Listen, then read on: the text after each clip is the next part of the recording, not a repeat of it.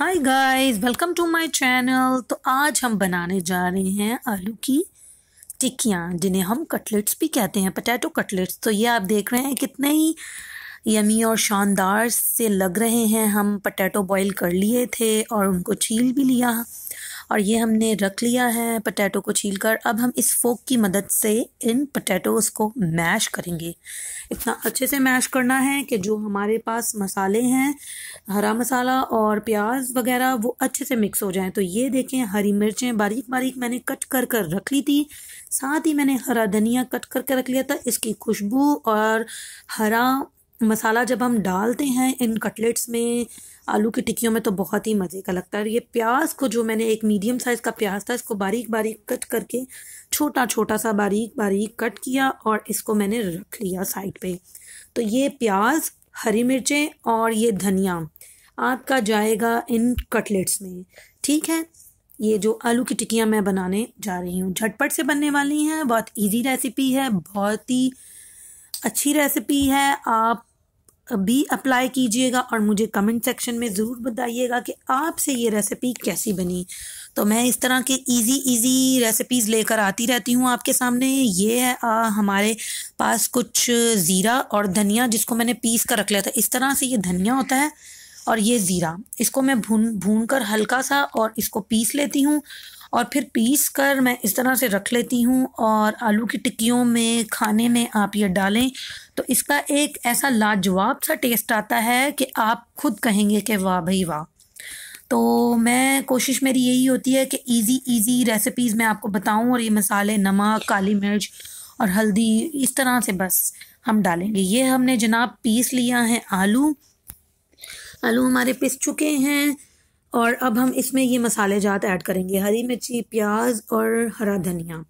Yannis को थोड़ी इस तरह की चीज़ें पसंद नहीं हैं, प्याज और हरा धनिया तो मैं उसके लिए थोड़े से सेपरेट कर लिए थे पटैटो का मिक्सचर और अब मैं इनमें ऐड करूँगी ये सारे मसाले, जात ये, धनिया, पुदीना, धनिया और प्याज, हरी मिर्च और साथ ही साथ इसमें ऐड करेंगे ये ज़ीरा। और धनिया जो कि मैंने पिसा हुआ रखा हरी मिर्चें हमने ऐड कर दी हैं। अब हम इसमें ऐड करने जा रहे हैं प्याज। देख रहे हैं आप? ये बड़े ही मज़े के लगेंगे और हम इन सारे मसालों को डालकर अच्छे से मिक्स करेंगे ताकि ये अच्छे से मिक्सचर इनका रेडी हो जाए और फिर हम इनके छोटे छोटे से कटलेट बनाएँगे। और फिर मैं आपको बताऊँगी कि देखें कैसे कटलेट बन गए हैं, कैसी टिक्कियाँ बनी हैं। और मेरी नेक्स्ट वीडियो है शामी टिक्कियों की तो वो भी ज़रूर देखिएगा। और मुझे बताइएगा कि कैसी बनी और आप भी ज़रूर ट्राई कीजिएगा कि आपसे ये रेसिपी कैसी बनी। तो गाइज़ अब हमने प्याज, धनिया डाल दिया है और हरी मिर्चें भी डाल दी हैं। ये हम जो भुना कुटा ज़ीरा और धनिया था, पिसा हुआ मैंने रखा, आपको दिखाया था, वो भी मैंने डाल दिया है। अब हम इसमें मसाले ऐड करेंगे, इसको मैं मिक्स करूँगी। मुझे ज़रा प्रॉब्लम होती है कि मैं एक हाथ से वीडियो बना रही होती हूँ और सेकंड हाथ जो है मेरा खाने बनाने में होता है तो थोड़ा सा डिफ़िकल्ट होता है, लेकिन कोशिश करती हूँ कि अच्छी वीडियो बने जो प्रॉपरली आपको नज़र आ जाए। ये नमक है तो हम थोड़ा सा हसबे का नमक डाल रहे हैं। तो साथ हम इसमें अब काली मिर्च ऐड करेंगे, ठीक है? तो आप अपने टेस्ट के मुताबिक जो है मसाला ऐड कर सकते हैं, कम भी कर सकते हैं, ज़्यादा भी कर सकते हैं। जिसको जितना मसाला चाहिए हो। कुछ लोग तीखा खाते हैं तो ये काली मिर्च हम थोड़ी सी ऐड करेंगे।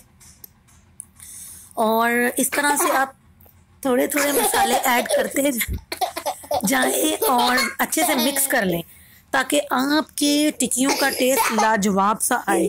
अब ये हम डाल रहे हैं लाल मिर्च तो थोड़ी सी लगभग लाल मिर्च डालें।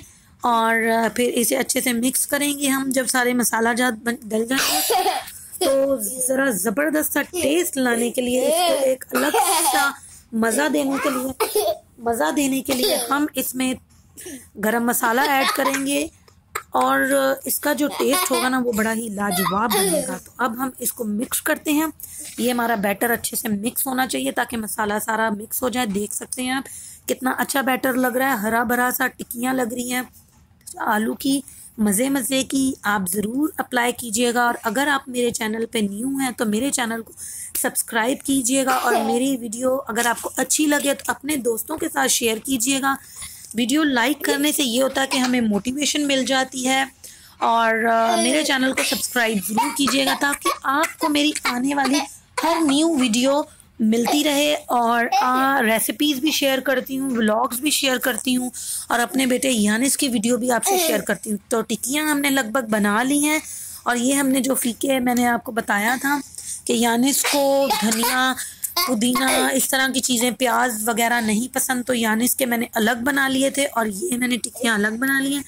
अब हम थोड़ी देर वेट करेंगे और फिर हम इन्हें फ्राई करेंगे। फ्राई करने के लिए क्या मेथड है? ये हमने रूम टेम्परेचर पे एक अंडा ले लिया था।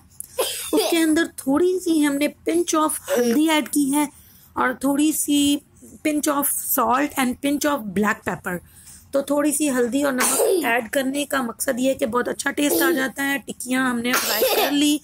तो अब आप देख सकते हैं कि गाइस कितना ही ज़बरदस्त लुक आ रहा है और बहुत मज़े की बनी है। अब हम इन्हें टेस्ट करके बताते हैं कि कैसी बनी। तो don't forget to like share subscribe